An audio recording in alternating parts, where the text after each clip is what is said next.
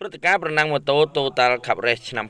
2019ជាចំណែកដើម្បីផ្សព្វផ្សាយគៀងគរឲ្យយុវជន បានយល់ច្បាស់ពីច្បាប់បើកបរគោរពច្បាប់ចរាចរណ៍គោរពភ្លើងសញ្ញានិងពាក់មួកសុវត្ថិភាពឲ្យបានត្រឹមត្រូវបើកបរដោយមិនលឺល្បឿនកំណត់ជាពិសេសបញ្ជាការប្រណាំងតាមទីសាធារណៈដែលនាំឲ្យគ្រោះថ្នាក់ដល់ខ្លួនឯងនិងជីវិតអ្នកដទៃនេះបើតាមការឲ្យដឹងពីលោកពើតិចលេងអគ្គនាយកក្រុមហ៊ុនខារ៉ានៅក្នុងសន្និសីទសារព័ត៌មានកាលពីម្សិលមិញនៅអាគារគណៈកម្មាធិការជាតិអូឡ িম্প ិកកម្ពុជា អគ្គនាយកខារ៉ារូបនេះបានបញ្ជាក់ទៀតថាគិតត្រឹមថ្ងៃប្រកាសជូនដំណឹងផ្លូវការនេះមានកីឡាជាតិនិងអន្តរជាតិបានចុះឈ្មោះចូលរួមប្រកួតសរុប32នាក់បានចុះឈ្មោះរួចរាល់ហើយក្នុងនោះកីឡាករបរទេសមកពី4ប្រទេសមានវៀតណាមម៉ាឡេស៊ីជប៉ុននិងកម្ពុជាអគ្គនាយករូបនេះបានឲ្យដឹងទៀតថាព្រឹត្តិការណ៍ប្រណាំងម៉ូតូលើវារៀបដ៏ធំប្រចាំឆ្នាំមួយនេះបានបង្កើតឡើងចាប់តាំងពីឆ្នាំ2016មកម្លេះដោយលើកទី1ធ្វើនៅមជ្ឈមណ្ឌលកោះពេជ្រ លើកទី2ធ្វើនៅឆ្នាំ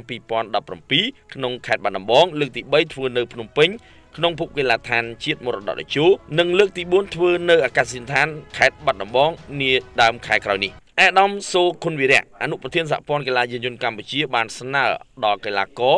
សូមប្រណាំងដោយមានការប្រុងប្រយ័ត្នខ្ពស់និងគោរពតាមលក្ខន្តិកៈការណែនាំរបស់គណៈកម្មការរៀបចំការប្រកួតដើម្បីបង្កលក្ខណៈឲ្យការប្រកួតនេះបញ្ចប់ទៅបរិយាកាសសប្បាយរីករាយនិងសាមគ្គីភាពមិត្តភាពជាមួយគ្នានោះអនុប្រធានរូបនេះក៏បានធ្វើការអំពាវនាវដល់យុវជនឲ្យចូលរួមគោរពច្បាប់ចរាចរណ៍ហើយកុំបើកបរហួសល្បឿនកំណត់តែបើចង់បើកបរលឿនឬប្រណាំងសូមដាក់ពាក្យចូលរួមប្រកួតប្រជែងលើទីលានដើម្បីបញ្ចេញទេពកោសល្យរបស់ខ្លួននិងអាចទទួលបានឱកាសក្លាយជាកីឡាករប្រណាំងម៉ូតូអាជីពនាពេលអនាគតសូមបញ្ជាក់ថាសម្រាប់ផ្លូវប្រណាំងនៃព្រឹត្តិការណ៍ប្រណាំងម៉ូតូដ៏ធំនេះមានចម្ងាយផ្លូវ